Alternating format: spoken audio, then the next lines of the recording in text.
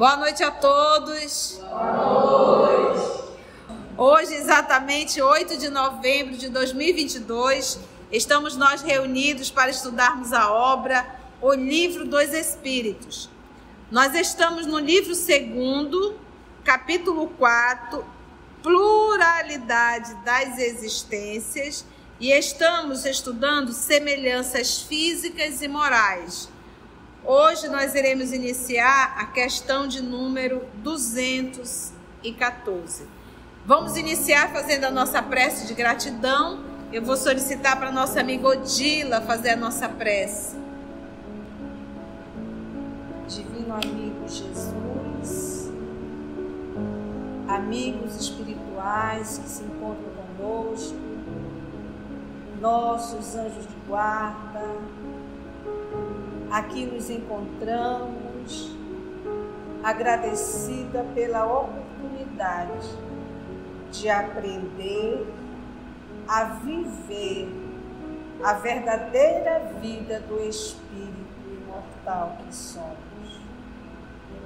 Nós te agradecemos, Mestre amado, pelas dádivas recebidas e pela oportunidade de nos renovarmos através dos teus santos ensinamentos. Abençoa a nossa irmã Conceição, inspira, para que ela possa passar para nós todo o conteúdo sublime que vem de ti, Senhor, das leis que o nosso Pai Celestial nos concedeu para a construção de um mundo melhor. Grato todos somos, Senhor Jesus. Obrigada. Então vamos lá. Questão 214 de O Livro dos Espíritos. Pergunta Kardec que se deve pensar dessas histórias de crianças que lutam no ventre materno? Isso aí a gente hoje pensa que coisa estranha, mas isso deveria ser um, uma abordagem muito comum lá no século XIX, né, meados do século XIX. Essa história de que as crianças lutavam no ventre materno, no caso de gêmeos. Né? Resposta: alegorias. Para mostrar que o ódio entre elas era muito antigo fazem-no recuar uma data anterior ao nascimento delas. Em geral, não levais muito em conta as imagens poéticas. Então não existe ali dois espíritos reencarnando, né? Ali na vida na vida intrauterina e os dois ali brigando lá dentro. Até porque é só a gente raciocinar. O espírito no processo da reencarnação, ele está o quê? Em estado de torpor absoluto. Então, como é que ele vai brigar se ele está mais para lá do que para cá, não é verdade? Questão 215. De onde provém o caráter distintivo que se nota em cada povo? Então a gente olha para o Brasil e o brasileiro ele tem uma característica, não tem? Você olha para os europeus, eles têm umas características diferentes. Você olha para os americanos, eles têm um. Vocês olham para é, os asiáticos, eles têm. Então a pergunta é: de onde provém o caráter distintivo que se nota em cada povo? Entendemos? Vamos ver a resposta? Os espíritos também possuem famílias formando-as pela semelhança de suas inclinações, mais ou menos depuradas. Então, vamos falar da nossa tribo. Quem aqui já leu ou estudou e estudou o livro Brasil, Coração do Mundo, Pátria do Evangelho? Um, dois, três, quatro, cinco. Como é para acabar? Estudem. O livro, ele vai nos falar da construção desse país de uma certa forma, porque aqui o que tínhamos eram os simples, os índios. E a colonização dele, uma das propostas de Jesus a Ismael era que trouxesse para o Brasil os espíritos endividados, enrolados com a lei. Em particular naquele período da Idade Média. Então existiam muitos espíritos aprisionados em zonas tenebrosas. Jesus queria atender a esses espíritos. E a solicitação de Jesus é que eles viessem encarnar no Brasil. Entendeu? Entendeu a característica do povo brasileiro? Quando Jesus disse que aqui ele iria fazer a pátria do evangelho dele, ele está dizendo assim: a pátria é a oficina. Porque quando você fala em pátria de Jesus, você pode falar oficina de Jesus. Em oficina, você não manda o que está bom. Para oficina, você manda o que está precisando de reparo. Então, a característica do nosso país é esse. E esses espíritos, que somos nós, a grande maioria, estão encarnados no Brasil. Por isso a nossa dificuldade em todas as áreas. Em todas as áreas. Entendeu? Então, aqui no Brasil se reuniram os grupos familiares, os grupos afins, os grupos dos mesmos erros e dos mesmos acertos. Na Europa, da mesma forma. Na América do Norte, da mesma forma. Nos continentes asiáticos, a mesma forma. Então, as pessoas se arvoram, nós espíritas, se arvoram a criticar uma obra, e eu sei quando a pessoa nunca estudou a obra pela crítica que ela faz. Porque ela ainda está com aquela ideia infantil de que pátria do evangelho, ele ainda não entendeu Jesus Cristo, é um ambiente de espíritos superiores. Ele ainda não entendeu qual é o recado do nosso Senhor Jesus. Jesus é trabalho, não é repouso. Repouso é para preguiçoso. Espírito superior nem dorme. Porque mesmo no mundo espiritual, a gente percebe que os espíritos têm necessidade de repouso, o superior não. Entende? Então é por isso, então, os espíritos também possuem famílias, formando-as pela semelhança de suas inclinações. Então, qual a característica dos nossos irmãos asiáticos? Já prestaram atenção como o trabalho faz parte da vida deles? Quando nós tivemos a Copa no nosso Brasil, eu acho que foi em Minas Gerais, tinha um jogo do Japão, se não me falha a memória. Quando terminou, o que que eles fizeram? Cada um estava com seu saquinho de lixo, recolhendo o lixo de todos. De todos. Um asiático, ele limpa a frente da casa dele, se ele olhar a casa do vizinho, está suja, ele vai lá e limpa também. É característica deles. E é de todos.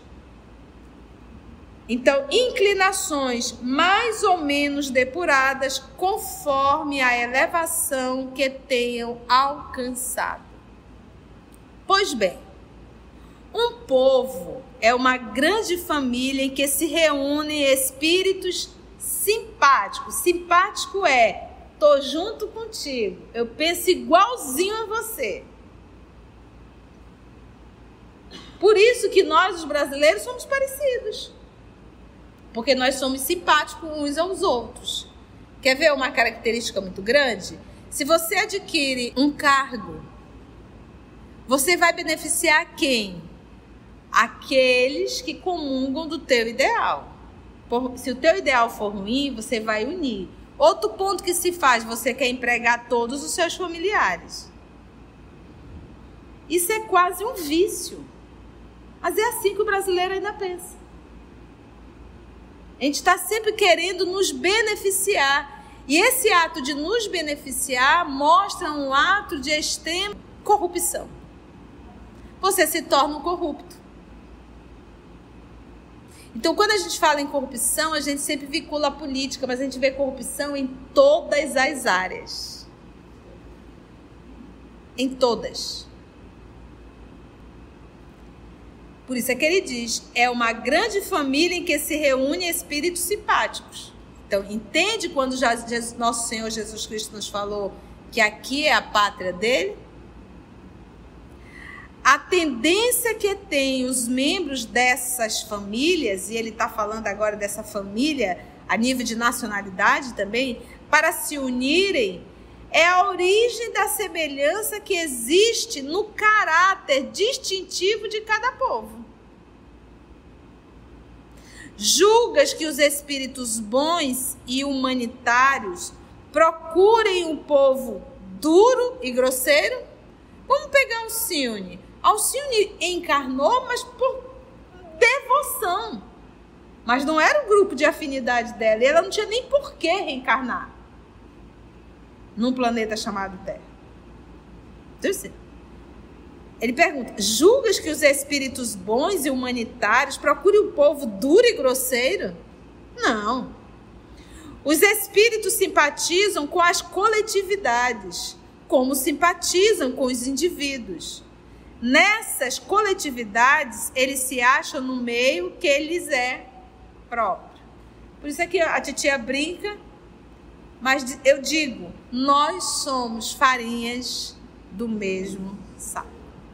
Agora, essa farinha não é uma orenia, aquela ovinha que é uniforme, né? Nós temos, os nossos irmãos que moram fora de Manaus, nós temos uma farinha espetacular para comer com peixe jaraqui. É aquela ovinha, ela, ela é bem uniforme, né? Uma delícia. Não, é aquela farinha d'água, né? Que é aquela, tem, tem grossa, tem fino, tem pó, tá tudo misturado uns fiapos, né? Uma confusão. É essa a nossa coletividade. Tá tudo muito misturado.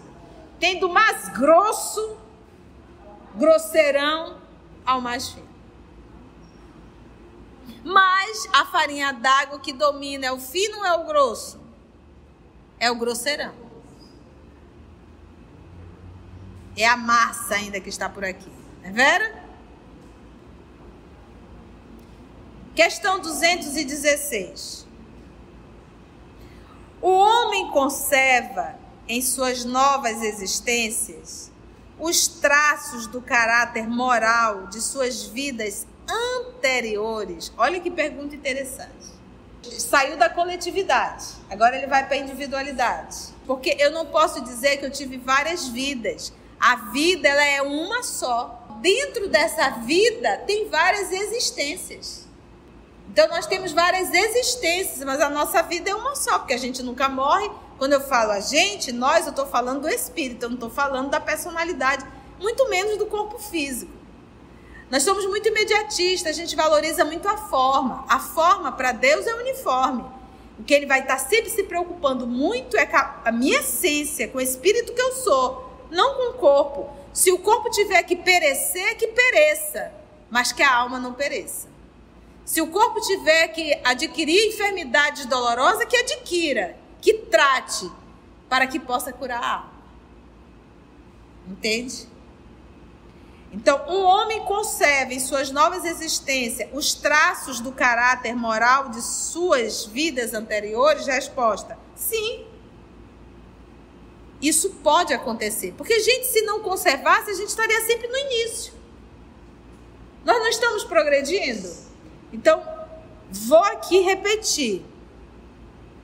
Nós não lembramos a história do passado. Mas as emoções a gente não esquece. E as conquistas morais também não. Vou repetir uma coisa que a gente fala, mas não reflete. Aonde está gravada a lei de Deus? Ela está gravada, foi dada para todos, todos. Aí perguntou Kardec: se a lei de Deus está gravada na consciência, por que Deus envia os profetas? Os espíritos responderam: para lembrar o que vocês esqueceram. Então eu não preciso aprender a ser bom, porque a minha essência é boa.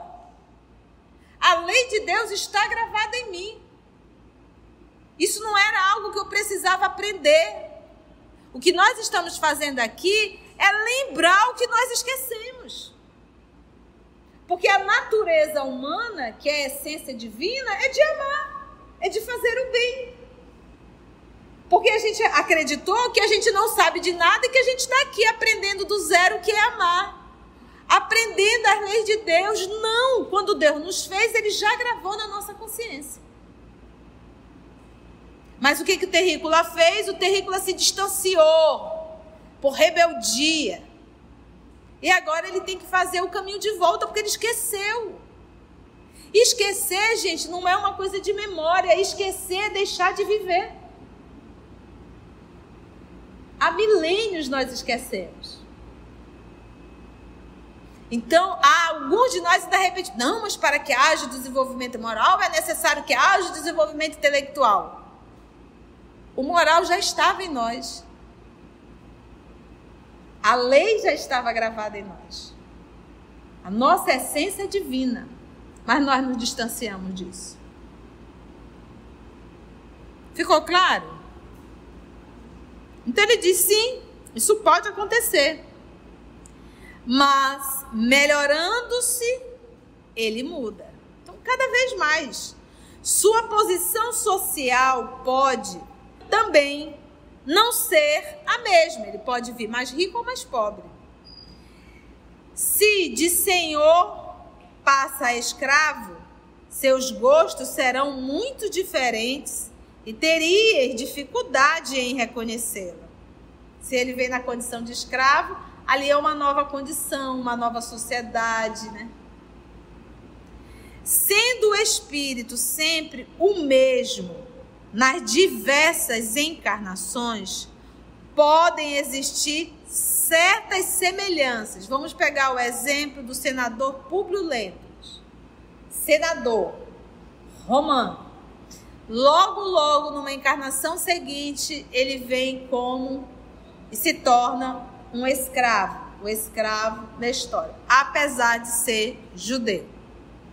Mas qual a característica daquele escravo? Além de muito inteligente, um conhecedor adorava, adorava a história romana e sabia contar como muito, melhor até do que muitos romanos. Então ele esqueceu totalmente? Não. Uma vez estudando aquilo, porque o que, que acontece?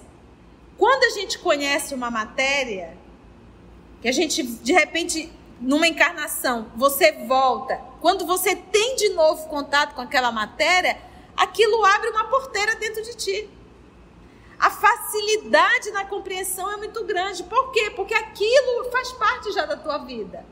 Você precisou apenas recordar. Isso para tudo, para tudo, para tudo, tanto para o bom quanto para o ruim. Então eu digo, o bom eu tenho que estimular sempre, o ruim eu não posso estimular. Porque o meu passado condena. Se eu volto a fazer o mal, eu posso abrir a porteira de novo. Entende, gente? Então ele diz: Sendo o espírito sempre o mesmo nas diversas encarnações, pode existir certas analogias, certas semelhanças entre as suas manifestações, se bem que modificadas pelos hábitos de uma nova posição. Então, naquela encarnação, ele não foi educado para ser um senador, ele era um escravo, mas carregava ali todas aquelas tendências de nobreza de elegância. Até que um aperfeiçoamento notável venha mudar completamente o seu caráter, pois de orgulhoso e mau pode tornar-se humilde e humano, se se arrependeu. Se arrependeu do quê? Do mal que tu fazes. Quando é que nós vamos deixar de fazer o mal? Quando nós nos arrependemos verdadeiramente.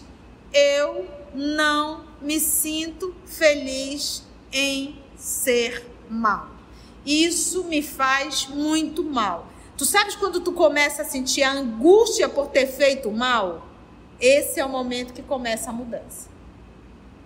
Enquanto tu te sente pleno em ter feito mal, por exemplo, eu posso de repente agredir uma pessoa e contar isso numa alegria tamanha. Ah, não, comigo é assim. Eu coloquei fulano no lugar, disse tudo e a pessoa fala com isso como se sentindo assim vitorioso. Tá longe da mudança. Não vai. Quando é que a mudança começa? Você pode, pode até ter feito essa atitude, mas você fica mal, ruim, uma sensação de se fiar embaixo da mesa, uma angústia. Opa, começando a ter mudança aí. Ficou claro isso? Por isso que ele diz: se se arrependeu. Enquanto eu estiver me alegrando com as minhas atitudes equivocadas, não tem mudança. Outra coisa que eu gostaria de comentar. Uma conduta moral alcançada, você nunca mais perde. Uma conquista moral, você nunca mais perde. Se caiu, é porque ainda não tinha conquistado é a fala do nosso Senhor Jesus dizendo que nós devemos acumular tesouros nos céus, onde o homem não rouba, as traças não corrói e o ferrugem não destrói. Esses tesouros espirituais é justamente a minha condição moral. Então, uma condição moral alcançada, eu nunca mais venho a perder. Por isso que a gente diz que o progresso, ele é progressivo, ele não vai retroagir. Eu posso ficar parado, mas regredir não. É sempre dali para frente, dali para frente, dali para frente. Quando eu conquisto verdadeiramente. Então, ou seja, se eu fizer uma autoanálise, cada um de nós fizermos uma autoanálise e ainda nos identificamos e nos encontramos ainda com erros primitivos e primários, isso quer dizer que ainda estamos há milênios fazendo isso. Nunca melhorou, é isso mesmo. Tanto é que ainda estamos fazendo. Então, para eu saber do meu passado, basta eu olhar quem eu sou hoje. O que eu estou nesse momento. O que eu estou fala de tudo que eu já vivi no passado. Tudo que eu trago dentro de mim. Eu não preciso fazer nenhuma regressão para saber quem eu sou.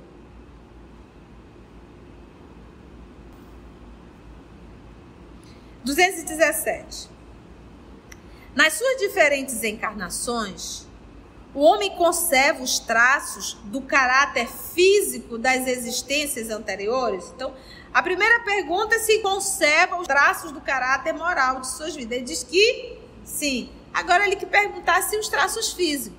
Porque a gente tinha um pouco disso. Olhe como ele, é todinho fulano, com certeza é ele. Mas a gente está avaliando pela uma condição física o passado vai influenciar nos traços físicos? Resposta: o corpo é destruído e o novo não tem nenhuma relação com o antigo. Por quê? Por mais que você venha filho dos mesmos pais numa nova encarnação, novos pais, eles também estão em novos corpos. O DNA já mudou. A genética já mudou, então não tem como ter nenhuma semelhança física. E o novo não tem nenhuma relação com o antigo. Entretanto, o espírito se reflete no corpo. Aí isso aqui é legal. O corpo físico de Francisco Cândido Xavier era belo, mas ele refletia beleza. Entendeu?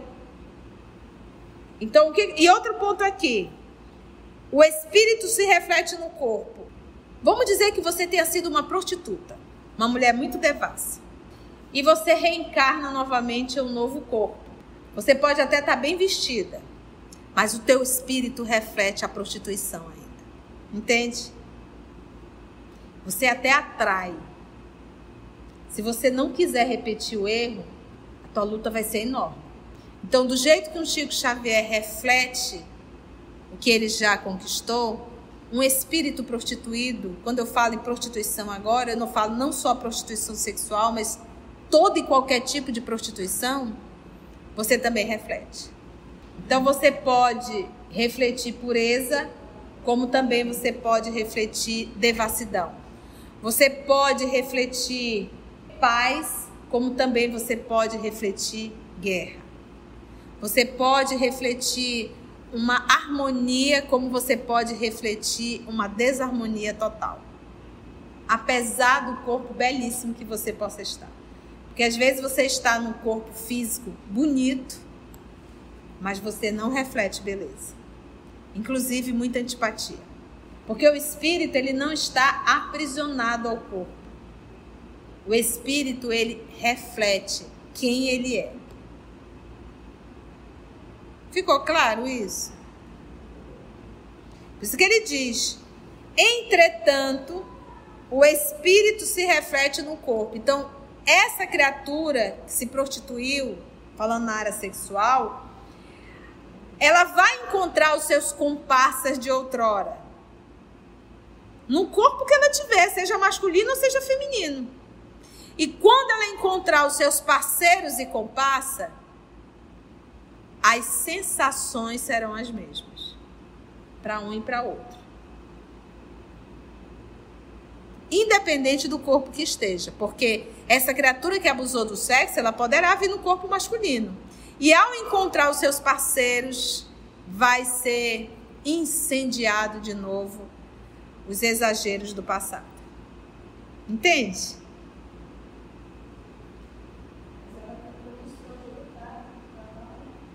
Foi, foi, é por isso que nós encarnamos. Nós não reencarnamos para fazer de novo o que fizemos no passado.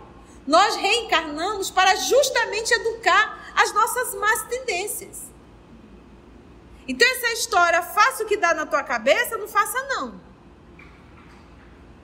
Que você vai ter que pagar um preço muito alto. Faça sim aquilo que está de comum acordo com as leis que regem o universo. E para nós fazermos isso, nós temos que o quê? Lutar e lutar o quê? Muito. A gente lê isso aqui e passa batido, não passa? Quando ele diz, olha, entretanto o espírito se reflete no corpo. Mas o que, que é isso? Como é que é isso? Agora nós já entendemos o que, que é o espírito se refletir. Nós não temos como esconder o nosso passado. Eu posso não lembrar, mas eu não vou deixar de sentir. E o outro, ao contato comigo, também não poderá deixar de sentir. É por isso que às vezes há determinados encontros que são impossíveis, fisicamente falando, mas que a criatura espiritualmente, não, é isso mesmo, é isso mesmo, e vai. Porque os espíritos se reconhecem, tanto para o bem quanto para o mal. Ele diz: certamente o corpo é apenas matéria, mas, apesar disso, é modelado pelas capacidades do espírito que lhe imprime certo caráter. Então vamos lá aqui. Tia, então estudando isso aí quer dizer o quê? Que o espírito belo, ele vai ter sempre um corpo belo, um espírito feio, falando de conduta moral, vai ter sempre um corpo feio em absoluto. Quando a gente vai estudar, a gente vai estudar no livro Missionário da Luz a reencarnação de Segismundo. Ele é um espírito que participa da formação do corpo. Ele vai, inclusive, em determinados, vamos chamar de salas, que são responsáveis pela formação dos novos corpos. Mas isso não vai transgredir a lei. Os pais terão predisposição para aquilo. Então, às vezes, eles solicitam um corpo mais alto, um corpo mais baixo, um corpo mais gordinho, ou alguma limitação física, porque a gente sabe que reencarnar é um, um, risco muito grande, porque quase sempre, como nós somos espíritos rebeldes, a gente tem uma tendência muito grande a repetir os mesmos erros. Então, às vezes, tem determinados espíritos que solicitam uma determinada deformidade no corpo físico para que não venham a, a se fascinar por, uma, por um corpo físico, então, eles solicitam determinadas limitações. Agora, aprendemos o que? Isso é uma regra? Não.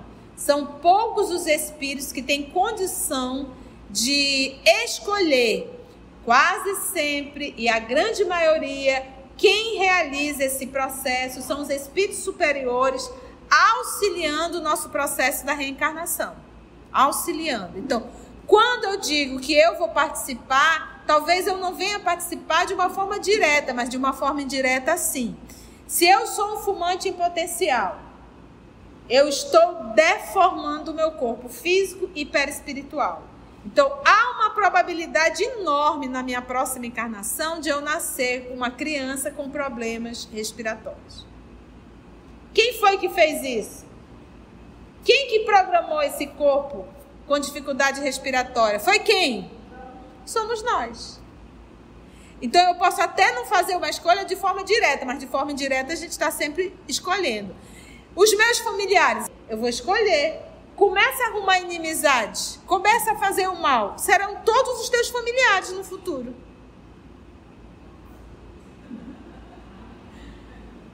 Entendeu? É é modelado pelas capacidades do espírito que lhe imprime certo caráter, principalmente no rosto. Olha só que coisa interessante. Principalmente no rosto. Então o que, que acontece? Às vezes a pessoa tem um, um rosto redondinho, narizinho que a gente conceitua como bonito, a cor de os olhos bonito, mas você olha para a pessoa e você não vê beleza. Algumas vezes a gente vê verdadeiros monstros. Por isso que ele diz, principalmente no rosto. E não é sem razão que se apontam os olhos como o espelho da alma. Porque os olhos, eles falam de quem somos. Por que, que a humanidade terrena tem tanta dificuldade de falar olhando olho no olho? Porque ninguém quer ser descoberto. Ninguém quer ser descoberto.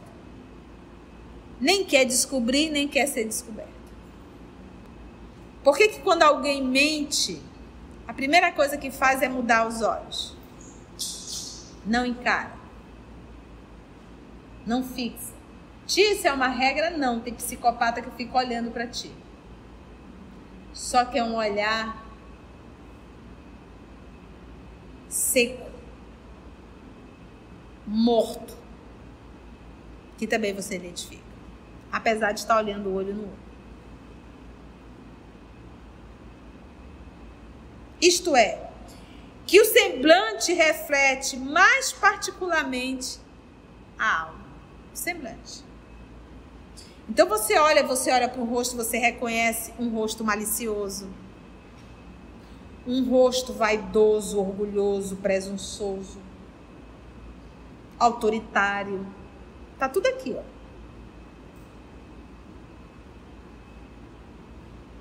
Mentiroso. A alma está refletindo. Por isso que ele diz, olha só esse parágrafo, vou repetir. É modelado pelas capacidades do espírito que lhe imprime certo caráter, principalmente no rosto e não é sem razão que se apontam os olhos como espelho da alma, isto é, que o semblante reflete mais particularmente a alma.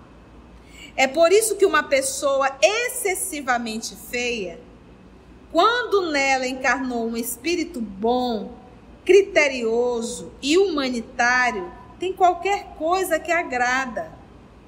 É tão bom ficar perto de fulano, perto da fulana, né?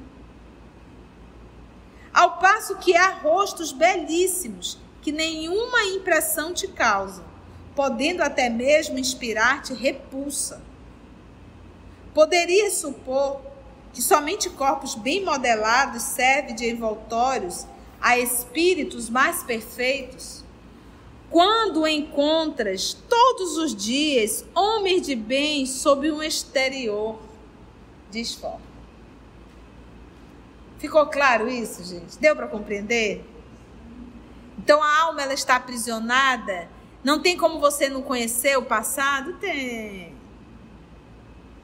É só a gente ter olhos para ver. Porque muitas vezes a gente quer se enganar. Né? Eu, gosto de, eu gosto mulher apaixonada, né? Mulher apaixonada é um bicho abestado, né? E homem também apaixonado. Você tá olhando pro cão que a criatura tá casando Diz para ela, isso não vai dar certo. Não, ele vai mudar, vai para pior. Porque ninguém muda ninguém. Ninguém muda ninguém. Assim, eu acho engraçado, uma vez eu encontrei uma colega e ela, ela gritou: Tia, tia! Digo, meu Deus, tia sou eu. Deixa eu achar. E aí, quando achei, ela veio toda feliz. Tia, eu estou noiva, esse é o meu noivo. Quando eu virei, que eu olhei o noivo, eu digo, é um cão, meu pai, isso não vai dar certo. Tava aqui, ó. Eu disse, oh, que legal. que maravilha, né? Vocês vão casar. Ai, eu vou mudar, eu vou lá pro país deles. Uh! Que legal, né? Puxa vida. E aí eu olhei para ela e disse assim: vá, viva essa experiência. Aprende dele. Porque se você não viver, você vai carregar essa dúvida por toda a sua encarnação. E ela foi. E ela disse quando as coisas foram apertando, ela disse que me via na frente dela dizendo isso. Vá! Vá viver suas experiências. Ela dizia mesmo que o LS salvou, porque ela ouvia direto. E ela dizia, ai meu Deus, por que eu não ouvia a tia? Adianta. Mas é porque a gente está tão fascinada por uma situação que você não consegue enxergar o óbvio. Bastava olhar para ver que era um cão encarnado. E foi um cão mesmo, você não tem noção. Então, o desejo de realizar os seus caprichos são tamanhos que você não quer enxergar o óbvio. E aprendeu, mas aprendeu o quê? Com dor. Assim, mesmo sem haver pronunciada parecença, a semelhança dos gostos e das inclinações pode dar lugar ao que se chama um ar de família. Né? Então, às vezes, assim, não tem absolutamente fisicamente nada a ver, mas tem um ar familiar. Né? Quantas vezes você não encontra alguém e diz bem assim, você é tão familiar, né? a gente não diz assim, né? É tão familiar. Quantas vezes a gente olha para um consanguíneo e se sente verdadeiros estranhos, um para o outro? E quantas vezes a gente olha para um estranho que se tornou um amigo e a gente acha, se acha muito mais irmão ou irmã do que os de casa? Mas a gente já entende isso. Quem são os de casa hoje? aqueles que no passado tu arrumou encrenca. Veio todo mundo para dentro de casa. Ah, tia, minha casa é uma harmonia maravilhosa. Louva a Deus. Se dentro da tua casa é uma harmonia de 100%, que é meio difícil, mas se existe, isso quer dizer que no passado tu não arrumou encrenca com ninguém. Não tinha porque você tem uma família complicada. Mas se você tem uma família complicada, de duas uma, ou é do passado e se é filhos, não necessariamente às vezes é do passado. Normalmente isso vem na condição de irmãos, tá bom? Mas se é um filho e ainda assim se tornou um adulto enrolado, nós já fizemos esse estudo na semana passada. Quem falhou aí? Mãe e pai. Porque faltou o quê? Educar. Puxar a rédea. Vamos lá para o comentário. Considerando-se que o corpo que reverte a alma numa nova encarnação não guarda nenhuma relação essencial com aquele que ela deixou, já que pode ter tido origem muito diversa, seria absurdo deduzir-se uma sucessão de existências tomando por base apenas uma semelhança eventual, né? semelhança física. Ah, reencarnação de fulano, porque é o nariz igualzinho do fulano. Mas não tem absolutamente nada a ver isso. Entretanto, Muitas vezes as qualidades do espírito modificam os órgãos que servem suas manifestações e lhe imprime ao semblante e até ao conjunto de suas maneiras uma marca especial. Então, de repente, você pode estar no corpo é, que não tem nenhum traço assim fino, sabe? É um traço até grosseiro devido à condição que o corpo que você reencarnou, mas aquela pessoa tem gestos tão educados, tão finos, que parece assim que é uma pessoa tão fina, apesar do corpo grosseirão. Entendeu? É isso que Kardec diz. O espírito pode imprimir característica ao corpo físico. Ele imprime ao semblante e até ao conjunto de suas maneiras uma marca especial. Pois você olha, olhava para o rosto de Chico, que não era um, um rosto belíssimo, mas imprimia o quê? Uma suavidade, uma certa beleza, uma ternura.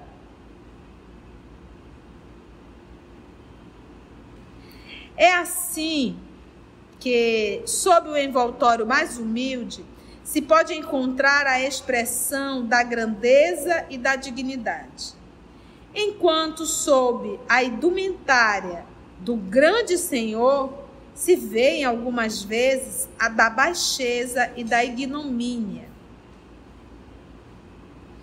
Algumas pessoas oriundas, né, originadas ali da mais ínfima posição, adquirem sem esforços os hábitos e as maneiras da alta sociedade, parecendo que reencontraram nesse meio o seu elemento. Enquanto outras, apesar do nascimento e da educação, elas se mostram sempre deslocadas. Como explicar esse fato de outra maneira, senão como reflexo daquilo que o espírito foi antes? É verdade? Então você pega às vezes a pessoa que foi ali nasceu, como se chama, né, no berço de ouro, mas é um grosseirão, uma grosseirona, não tem jeito. E às vezes pessoas que nasceu que no berço não era lá de ouro, mas é uma pessoa tão fina, tão educada, né? E quando está nesse meio, ela consegue se, se socializar de uma forma tão conquistas do espírito. Ficou claro, gente? Foi bom? Eu vou dar um aviso. A titia vai tirar umas férias.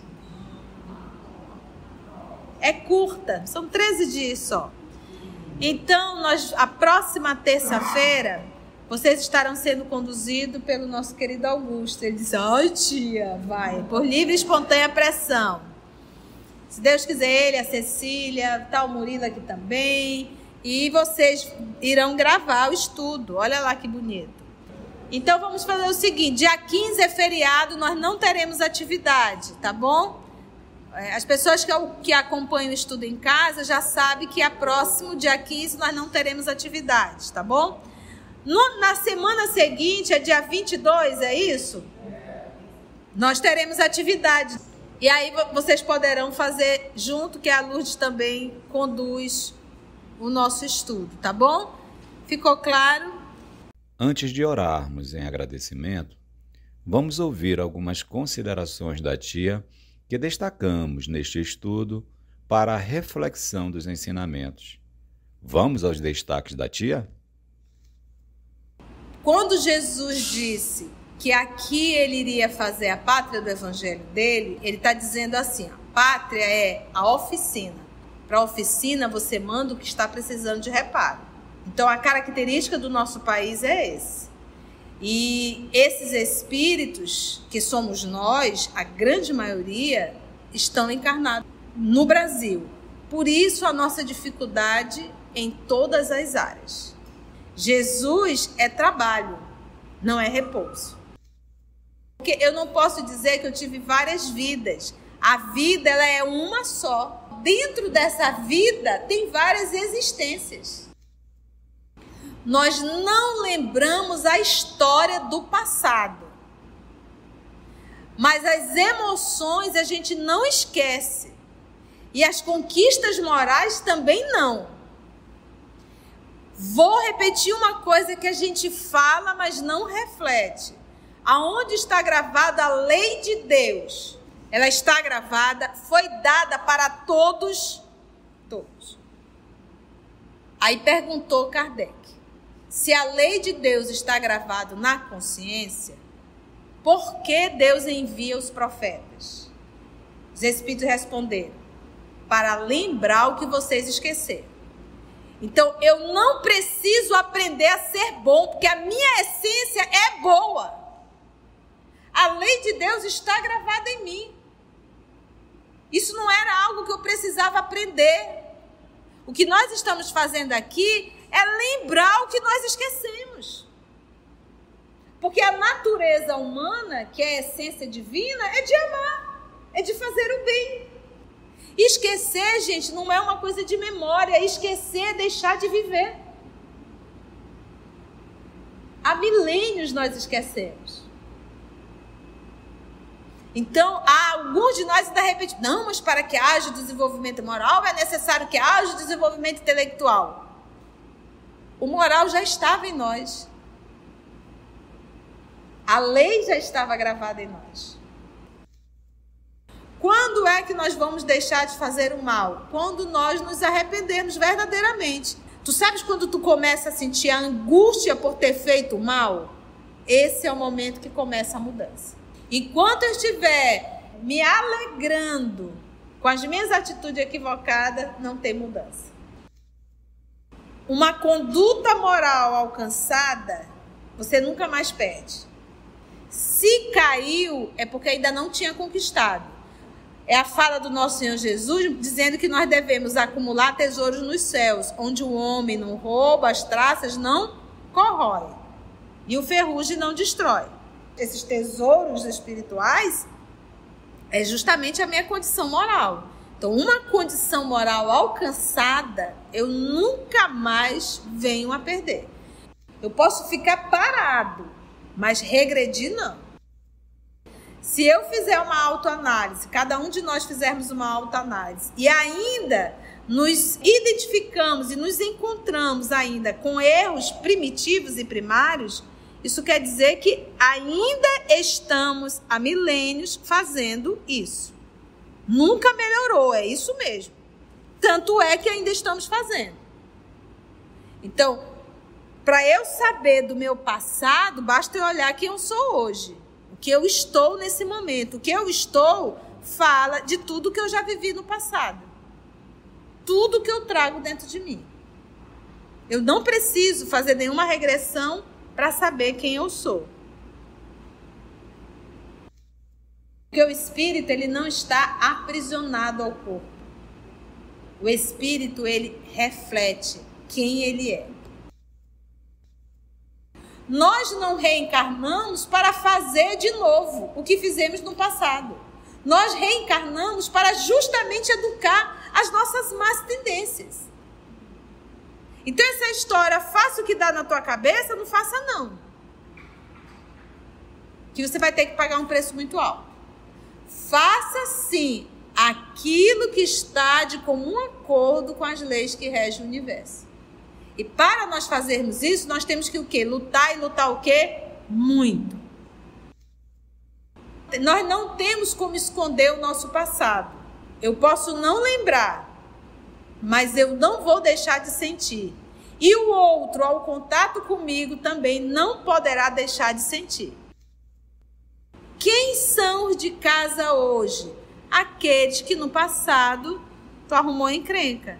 Mas se você tem uma família complicada, de duas uma, ou é do passado, e se é filhos, não necessariamente às vezes é do passado. Normalmente isso vem na condição de irmãos. Assim, concluindo o nosso estudo de hoje e agradecendo o nosso Mestre Jesus por mais este momento de aprendizado, vamos orar? Vamos assim agradecer a Deus, nosso Pai, a Jesus, o amor de nossa vida, e aos amigos espirituais aqui presentes, por mais uma oportunidade de estudo e reflexão. Graça te damos.